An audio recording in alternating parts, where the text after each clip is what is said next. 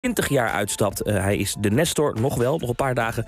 van de Eerste Kamer, SP-senator Tini Cox. Meneer Cox, goedemorgen. Goedemorgen. U, even uw reactie op het overlijden van uh, Dries van Acht. Het is altijd triest als een uh, markant mens overlijdt. Met 93 kan je ook niet veel klagen, zou Dries van Acht zelf hebben gezegd, denk ik. Maar het is, het is altijd treurig als zo'n zo, zo markant figuur overlijdt. En ja, ik heb hem in de, in, de, in de jaren nadat hij minister-president was... meer leren kennen als van tevoren.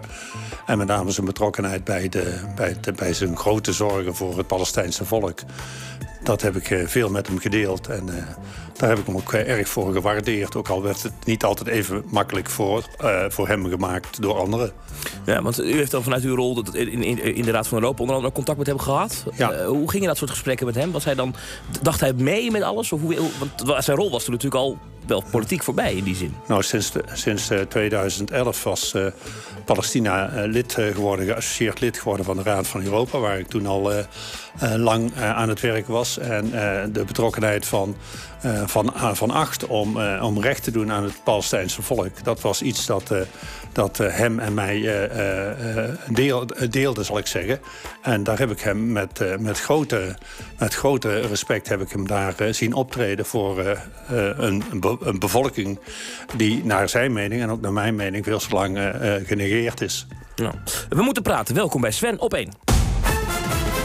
Meneer Cox, ik praat zo uitgebreid met u verder over uw vertrekken uit uh, de, de, Eerste Kamer en, uh, en, uw carrière, de loopbaan. Er is veel over te vertellen. En over wat er allemaal nu in politiek Den Haag gebeurt. Maar even over het overlijden van oud-premier Dries van Acht... praat ik met CDA-leider Henry Bontebal. Meneer Bontebal, goedemorgen.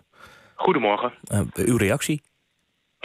Ja, wij zijn natuurlijk verdrietig. Verdrietig met het overlijden van Dries van Acht. En Dries van Acht was natuurlijk een hele markante man... die ook aan de basis stond van het CDA, onze eerste leider. Maar hij heeft natuurlijk ook veel voor Nederland betekend als uh, premier. Hij is vijf jaar uh, premier van ons land geweest. En uh, ja, daar is natuurlijk veel waardering voor zijn rol. En ja, we zijn natuurlijk verdrietig over zijn overlijden. Ja, hij had ook wel in de laatste jaren veel kritiek op de partij. Ja, dat, dat klopt. En dat is het denk ik ook helemaal niet erg. Um, wat nu vooral overheerst is nou, de karakteristieke man die, hij, die hij was. Ik vind het mooi aan hem dat hij uh, politiek bedreef echt uit overtuigingen. En dat was ook echt zichtbaar. En uh, dat is denk ik ook iets wat deze tijd nodig heeft. Uh, politiek bedrijf vanuit, vanuit overtuigingen. en het was een hele karakteristieke man die zijn mening ook niet onder stoelen of banken stak. maar er is gewoon veel waardering voor Dries van de Acht. zeker op deze dag van het bericht dat we nu krijgen. Zeker. Had u contact met uw verre voorganger? Nee, en ik begreep ook uh, dat het de laatste jaren... Uh, hij werd natuurlijk gewoon ook ouder. En ik heb zelf geen uh, contact gehad met hem de laatste weken. Um, dus, dus dat contact heb ik zelf niet gehad. Ik ben natuurlijk ook nog niet zo heel lang politiek leider van het CDA. Nee. dus ik heb zelf geen persoonlijk contact met hem gehad. Ik ken hem natuurlijk ook vooral vanuit nou ja, de beelden, de media, de stukken, de, de, de, de, de, de geschiedenis. Um, en ik denk dat daar in ieder geval een duidelijk beeld naar voren is gekomen van wie Dries van Acht is. Um, en iedereen zal hem denk ik her herinneren als die markante politicus... met zijn karakteristieke, archaïsche uh, zinnen. Uh, dus ik denk dat het een, uh, een mooi mens was.